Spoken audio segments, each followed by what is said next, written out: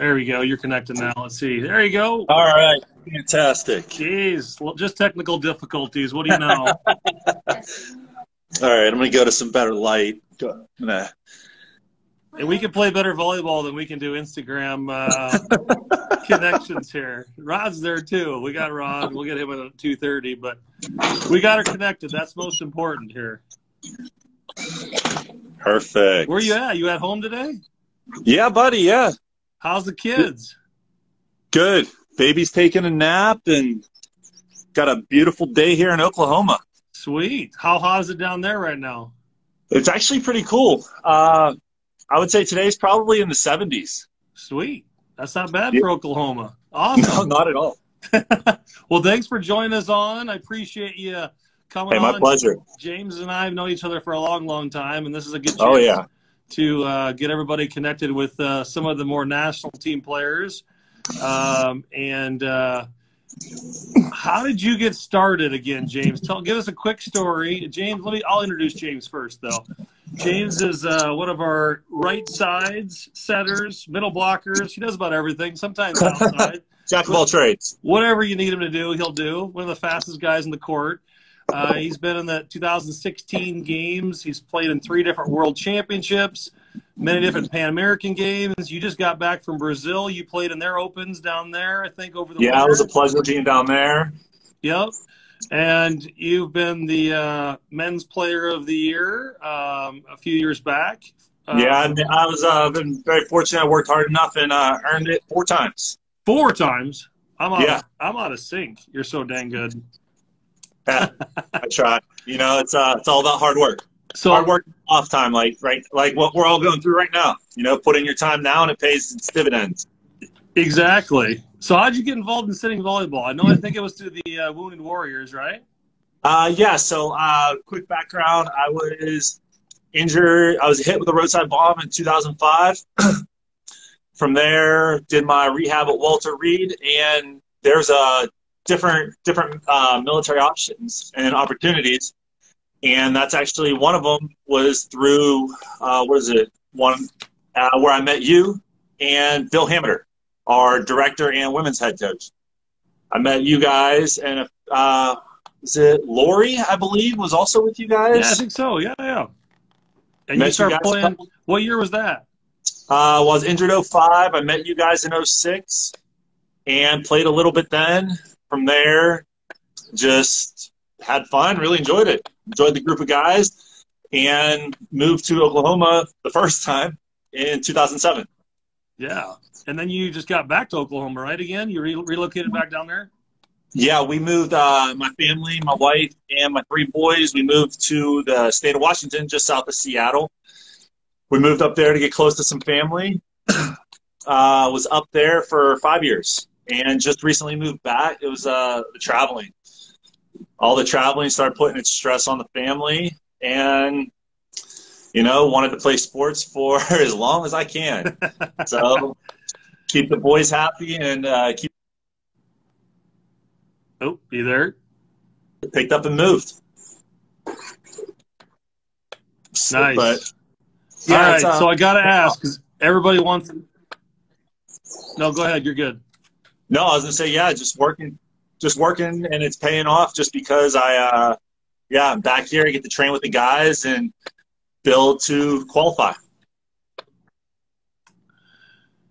And so now you're in Oklahoma. You're waiting for. Uh, we're all waiting for the next qualifying tournament because of Yep. this. Because what many people aren't aware of was the week when everything started getting canceled. The NBA, the college basketball, was the same week that the U.S. was hosting the last qualifier for the last uh, Paralympic team uh, seed to Yep. whoever won that tournament in Oklahoma was going to go to the Paralympics, and that was the week that everybody started flying over and got canceled, right? Yeah, yeah. We had uh, there was going to be a total of eight countries, or no, I'm sorry, seven countries, including the U.S. that were competing for one spot. And you know, the next thing you know, this this whole thing shakes down, and you train, you train, train, train, work hard, mentally, physically, emotionally, and everything for these opportunities to play, and then you're sitting here now, waiting for the next opportunity. Then we find out the games get canceled, or sorry, not canceled, postponed. So they're still calling it the 2020 Tokyo Games that are going to be held in uh, 2021. Nice. Well, at least we know we're still going to be having them, I guess. But I called this you guys the day that uh, that transpired, and man, I, I can't imagine going through that. I mean, I know oh. you guys did pretty well, but uh, like as a team, but yeah, you know, you guys were hours from starting the last tournament to qualify. Correct. Yeah, it was a it was a it was a good build up to it. We had we did the best we've ever done in World Championships. Uh, then unfortunately, we played hard. We fought hard in in the Pan American Games in 2019, but and took second. We lost to Brazil. We're a strong squad. Uh, they well deserved it. But um, and then we were going to fight it out with uh, the six other countries that were coming into play, and get our spot there. And now, what have you guys heard? Anything much yet? No, it's uh, it's hard to say. Just just for the simple fact that nobody really knows across on the on a global scale what's going to happen and how this is all going to transpire, and just end up trickling down. So during quarantine, I got to know what's up with all the handstands. It's it's, it's a What's the deal? I love it. What's the deal? What's the story behind the handstands? You know, uh, it was I was sitting around working out and quarantine. Then gyms started shutting down and everything started closing, and I was like, "All right, what am I gonna do? What am I gonna lift? How am I gonna stay in shape?" And you know, where there's a will, there's a way. So I started researching, doing more with gymnastics and a lot of these isometric holds, just having some fun with it and I started doing more pull ups. And I looked at it I'm like, you know what? I've never been able to do a handstand. Let's try it. And I'm still working at it. so, where are you at? I know I saw this week you are getting there with some lifts, saw your wall handstand, and I don't know if anybody, your challenge went through to put the oh. Spider Man handstand with the shirt. Oh, that was fun. Did anybody else take you up? No, I had uh, I had a couple of my buddies. I have a friend in Alaska. I called out uh, Chris Hardis. I called him out, and he did it, and he challenged some of his friends, and it was fun. Uh, I haven't seen anybody from the standing team. So was liking to see some of those guys do it, but uh, you know, it's you got to find in these times. I don't want to say dark times, but in these in this new age that we're all going through, you got to find something new to do. And yeah. it's something new, something fun and like I said, me being me being six five, it's uh, it's I think it would be pretty. It's pretty fun, pretty challenging to do a handstand. So I'm like learning spatial awareness and learning all that stuff is uh, pretty neat. Well, handstands are hard enough to do, let alone when your kids are antagonizing you to not do it and fall over. That's got to be like disheartening as a dad. When I heard your oh, I know it's hilarious. yelling at you. yeah, well, there was a there was one I got it on my wife's phone where I'm doing a handstand and my kids are running laps underneath me. so I was actually just doing, I was practicing earlier today, and I'm gonna post a picture here in a little bit where my right before nap time, my two year old was like, "Oh, I'm gonna come practice with you," basically, and started doing handstands right beside me. nice. So he's got it down already. Yeah, he's doing. He's a he's a trooper, man. He's doing good. He's, yep. We call him. Uh, yeah, we call call him Bam Bam runs around. Man, it's crazy. So how you juggle your life with volleyball and family? Now that you're back it's in a, Oklahoma, it's probably a little bit easier. It's a lot easier. That that was the main reason for moving back is so I can keep everybody uh, keep everybody happy, and we can all work more towards the end result of playing volleyball as long as as long as physically possible. It's but it's uh it's fun. It's challenging my kids are now eight, six, and two, so they're starting to understand a little bit more what's going on and how to how dad's life is and what I have to do to push forward and be the best that I can. Gotcha. And so, so but, yeah. where's been the since we're talking about traveling and playing, where's the uh, most fun place you've been to when it comes to traveling for volleyball? Oh man, for volleyball, I know Poland was a blast. Poland's been a lot of fun. The crowd there. I mean, Guadalajara, when we went there, that was a great time. Yep. Yep, that was that was a real good time. It's all about. It's hard to really pick one, just because the team. Uh, it's all about the team atmosphere. We travel a lot of this. A lot of the same guys travel, and we know each other, and we're able to make the events fun, and we're able to challenge and make each other laugh at the same time. So that's probably probably the best part about working with team sports is working with the guys as much as it as as much as it is an advantage it's a, it's a disadvantage too. Just because you're the same guys over and over and over again.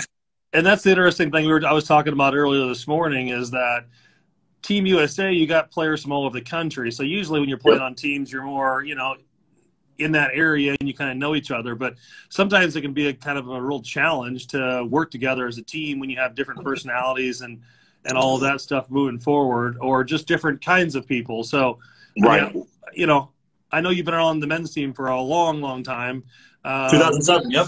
And how long? Uh, I mean, how's that been going with the traveling and everything lately, with all the players and such? Are the guys?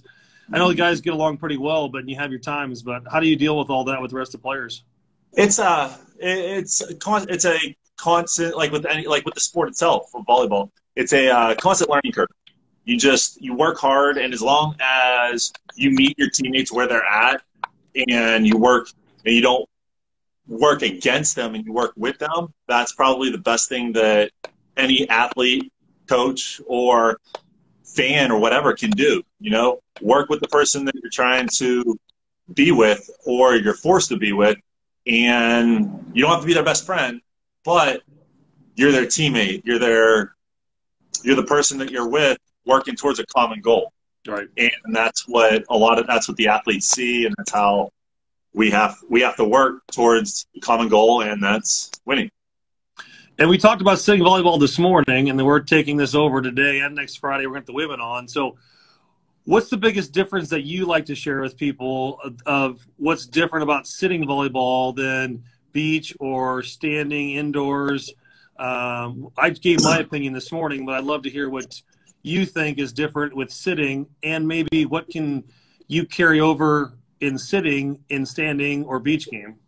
Yeah, well, I've been very fortunate. I've actually uh, I've played I've played uh, just as an amputee. I've played standing uh, standing court and standing beach. And the the one thing about sitting is the fact that you have to read and you have to understand the game so fast because when you go to hit or you have to or when the ball is being hit at you, there's no oh I can move my feet this extra little bit to get to the ball. No, you have to be there because if you watch games and you see how fast the tempo of the game is, you have to see it, read it, and be there, as opposed to sometimes sometimes in standing you can be a split second late or have a slow read and be athletic enough to get there. And that was the one thing that really helped me out whenever I transpired tra- transferred over to standing and playing is that no, I can't jump the highest. I'm a below the knee amputee.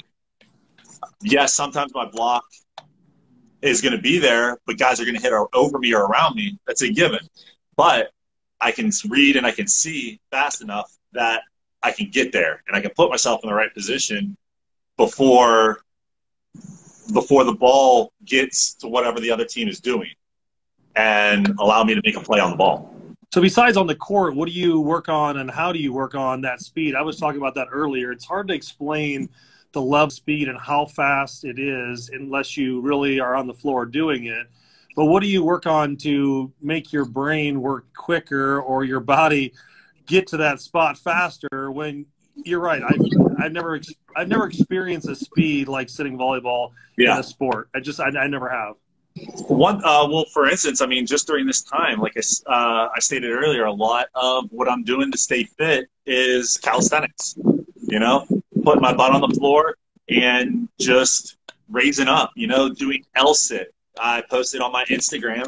Uh, yeah, I did, was at the gym, had some parallel bars and just pressing up, hold it, suspending my body, being able, being able to control your body weight and move your own body weight is with joints that aren't supposed to be primary movers, your shoulders, they're not supposed to be primary movers. our bodies aren't built like that. But understanding that and now developing to developing the right muscles so that you can make your body do what you want it to do and what you need it to do. So besides your working out with calisthenics, have you been touching any balls at home? Yeah, and if so, is is it uh, been similar to at least get some ball touches in, or not really? It's I'm fortunate. I'm very fortunate that my I mean I got tile and I got hardwood.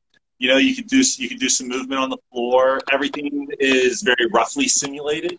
Uh, my wife, the rock being she is, she helps me with whatever she can. She holds down the fort and she, I'll, she'll toss volleyballs with me. She gets on the floor and peppers with me. Uh, my kids, my kids get on the floor. we toss balls around. You know, it's a big game for them. But I take it, I have to look at it from a different aspect. It's like, cool, this might be the only touches I get today. So they're playing around, and I'm just trying to keep it alive, having fun with them. But in all reality, I'm trying to think of, cool, this might be a bad touch off, a touch off the block, or a low pass or something, and I'm trying to fall over and pop it up or use my foot to stab at it to kick it up. And then the hardest thing probably to simulate is any type of hitting, you know? So I go to the side of my house, I got a wall, and hit it, you know, just hit down balls, down balls at the grass, grass wall back at me. And that's funny because I this morning when I was thinking about you know, when I first started playing and uh, training in, in, winter Nebraska is snow and cold, and you know, yeah. you can't get into a gym somewhere. I mean, and we're seeing that again. People weren't able to get the gyms that just the basic things of touching a ball and hitting a ball can get you so hit. far. this is where I hit. I got grass, I got a wall, and I stand over here in the grass. You got some open space. Yep. yep. And that's it. Volleyball then, training doesn't have to be complicated, does it? Nope. And like I said, with shoulder stability, there's my kid's swing set, and that side works for a pull up bar. There you go. Nice. So, you know. So, how far are you from the university there then now?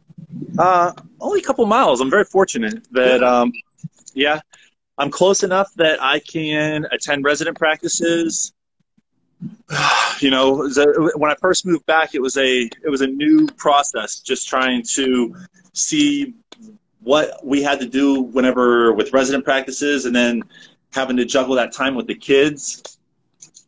That was uh, that was fun to see to get that schedule set. So my wife wasn't overwhelmed with getting the kids fed and getting them out to school while I'm playing volleyball. Right. You know, I'm in practice training, and then my wife's doing the real work, taking care of the kids, working hard. So we set a we worked we worked together and set a schedule to certain days I would go to practice, and our coaching staff worked understood it as well.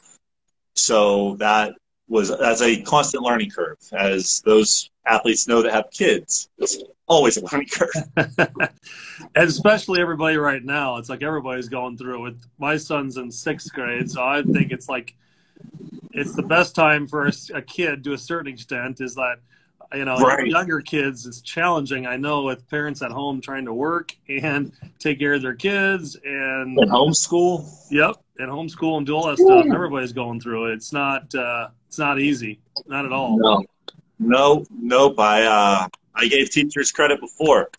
Give them more credit now. That's for oh, sure. Man. That's for so. sure. Well, I saw the other day that USA Volleyball put out a quarantine house, and you were in house four with Katie and Fluke and Matt Anderson. Yeah, that was discussion. I think our house is way better than your house. No, no, come on. Why? Uh, we usually would dominate you guys. We got sure, Phil and Logan. It. We got Mr. Bring May. It. Like and Soji is set. We're good. Oh, we're sitting. We're not standing. Well, you might win in sitting because you and Katie, yeah. but we got the rest of the Yeah, of course. No, we're gonna win. We're gonna win. You're gonna win. I think we're we gonna win. Like a tournament where it's like a King of the Hill, where we all play indoor you know, sitting and beach and see who wins out of the houses. That'd be great. You know what we should do is put those teams together for nationals. Yeah. Oh, that would be what great. What sport will we play though? Which which discipline will we play? All of them? Sitting. Sitting only? Yeah. No, we play, we'll play sitting and standing. You know. Well, that's what you've got to play all three disciplines, and each house does, and you see who comes out on top. Oh, okay, okay. Yeah. Where, uh, it's going to be interesting where they're going to put a sand court in at nationals. I'm sure USA volleyball will outside, figure around the, around the back. It's Minnesota. Well, they canceled Minnesota. Maybe we'll go to somewhere warmer where we can be outside in May or whatever it is. I don't know. It's pretty Hey, thanks, cool. baby. I don't know how I Yeah. made the list. Some old gray hair guy over here made the house. over Dude, think you're a, you're a monster, man. We love having you on the court. We've been itching to get you back on the court. I know. I get a couple recruiting calls the other day. I hinted that I might play. Next thing you know, I got a few texts out of the blue. I said, "Guys, I'm good. I'm retired. I'm good, but I'll play." yeah, buddy. Well, there's Yeah, Roderick. buddy. I don't think Roderick made a house. What's up with that? We got to give him Oh, I don't know. the next side. I don't know. Yeah, that's that's the secret. That's the secret house. You know. That's house Keep seven. Yeah, keep them waiting in the wings, and then all of a sudden their team comes in. And I was like, "Where did this happen? What?" It's like sniper from the grassy knoll. It's like holy mackerel. All right, I got to ask these questions. What's the hardest loss you had? Which I've been through one with you. My hardest loss of my life, and then what's the most uh, gratifying win that you've had? Oh, well, I got, I got four, Four, hardest losses. four I can't name. I got. Uh, they're all four of these losses came by one team, Yeah, I know who this is. Brazil. yes. Every time, every third year of the cycle, I got one. I got one in oh, what is it? 07, Oh. 07, 11. 10, 13, 60, whatever. And 60, yeah. Every time. Those are the four hardest losses.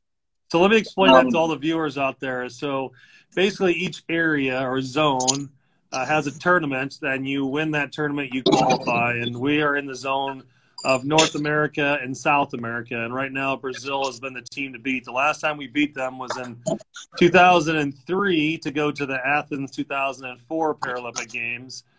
And we haven't beat them uh, since. So they keep having our number. We beat them in Guadalajara, but we, Oh, we lost did. them in the, but we lost to them in the finals. Yeah. There's your there's your silver medals. All four, four losses. Yep. You got them hung Oh, up in a frame even. Yeah. I can't Con- even look at I can't really look at mine too much. Constant reminder. Yeah? I think it's backwards for everybody.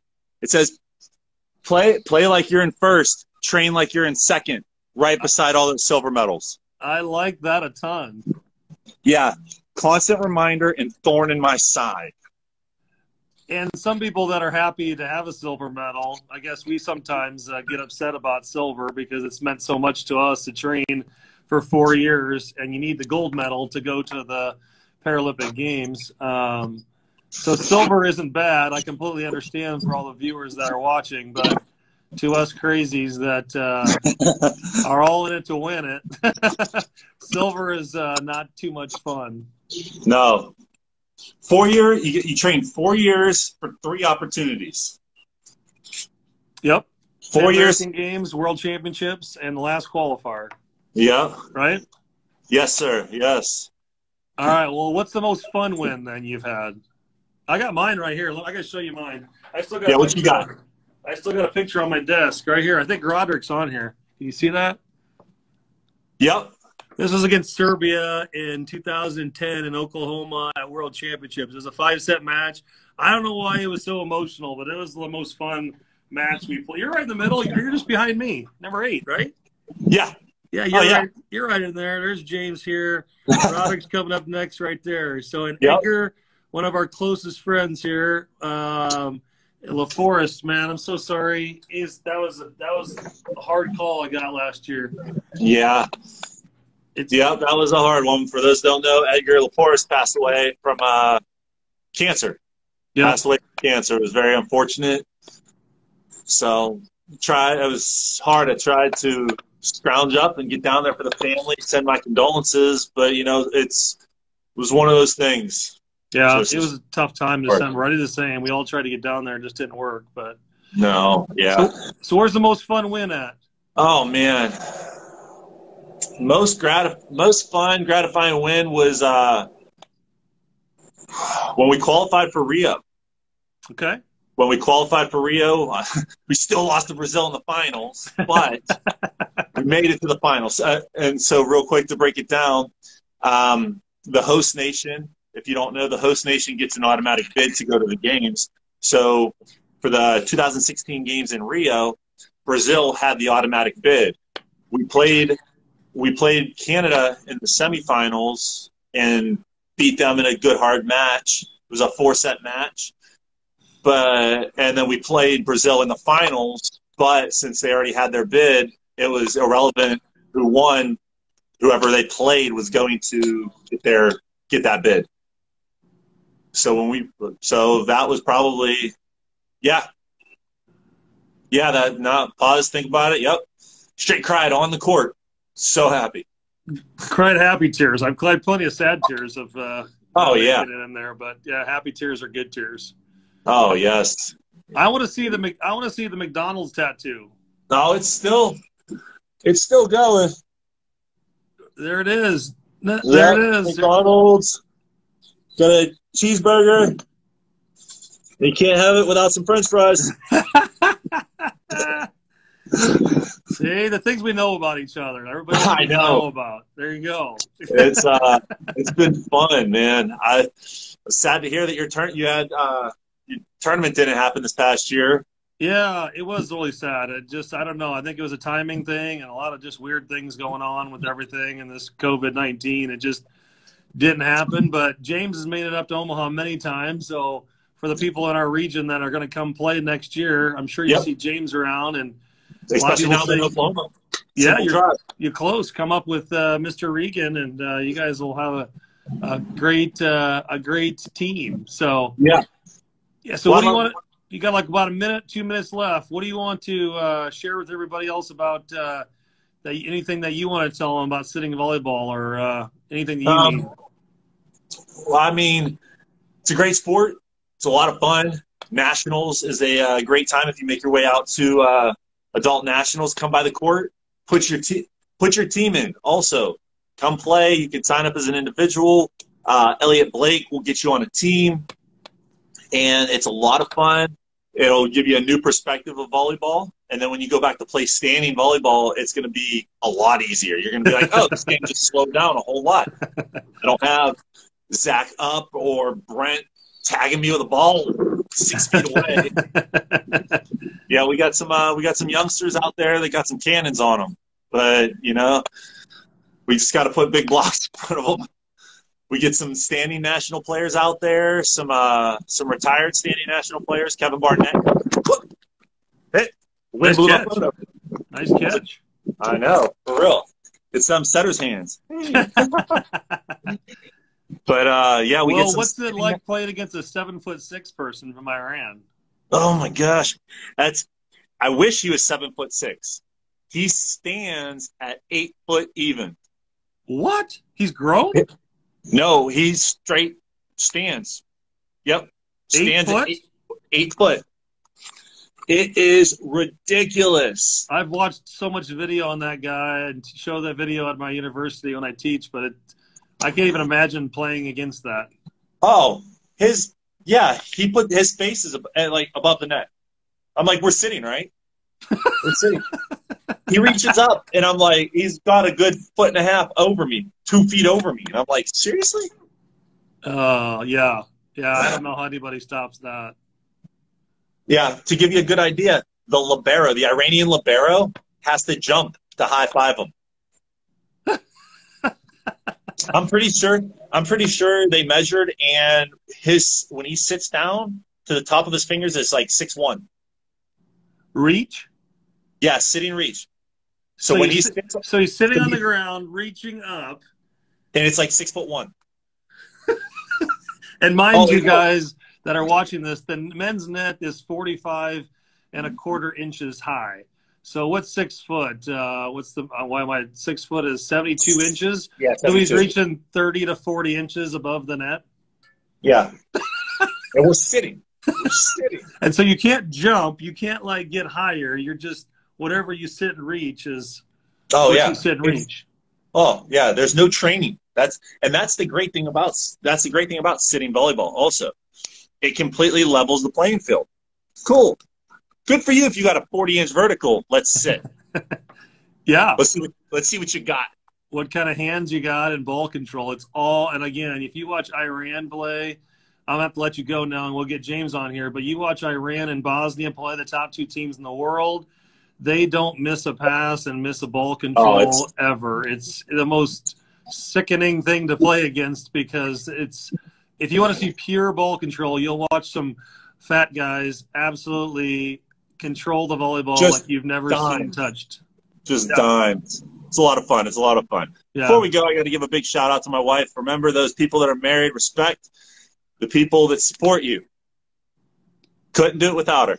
Yes, I hear you there, brother. So well, it was great seeing you. Let's catch yes, up sir. here soon. All right, brother. Yeah, most definitely. We'll um, we'll have to figure something out after this COVID thing goes away, and hopefully get you down to beautiful Oklahoma, play some golf or something, have some fun. Cross training. I'm looking forward to watching you guys play, and I was going to play some golf in March, but you guys are doing yeah. it next year. We'll be down there. All right, yeah. before that. All right, brother. Yeah, all right, take care. And Thanks uh, again, yeah, James. I'll be doing some. Uh, I'm doing a USA volleyball uh, takeover ne- uh, next week. Next week. Be, yeah, next week's gonna be Thursday or Friday. So keep your mind open for that. We'll be doing some Q and A and some other fun stuff as well. Awesome. You'll, we'll check in. You'll get to see a little bit more of my training. Love it. I want to. I want a handstand by next week. All right, I'm gonna do it. You're gonna see. I'm gonna just post the camera, and it's gonna be fun. On live. I want to see it. Make it happen. Oh, it's gonna be crazy. So. All right, man. We well, take care. Thanks again for inviting me. Great Plains region. Awesome stuff. Keep going, and we will uh we'll get together and have some fun times. Sounds good, James. Thanks, man. Not a problem. Take care.